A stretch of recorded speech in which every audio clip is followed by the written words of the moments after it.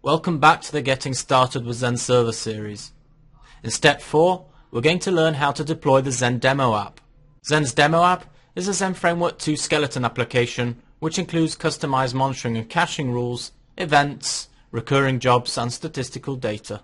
To deploy the demo application, go to Zend Server's guide page under the Overview tab.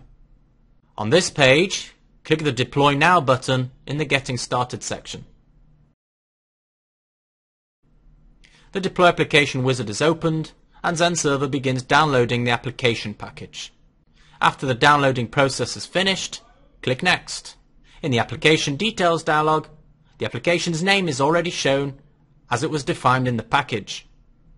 I'm going to leave the virtual host field with the default server setting and enter a path for the application.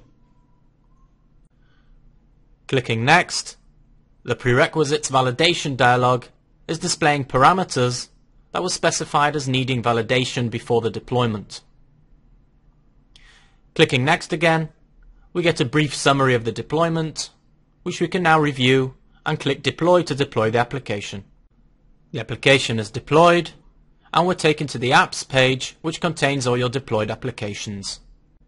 Once Server finishes to deploy the application, you can select the application in the Applications list and click the supplied link. Well done! You've deployed your first application on Zend Server. In the next video in this series, learn how to monitor your application using Zend Server's monitoring dashboards and monitoring rules.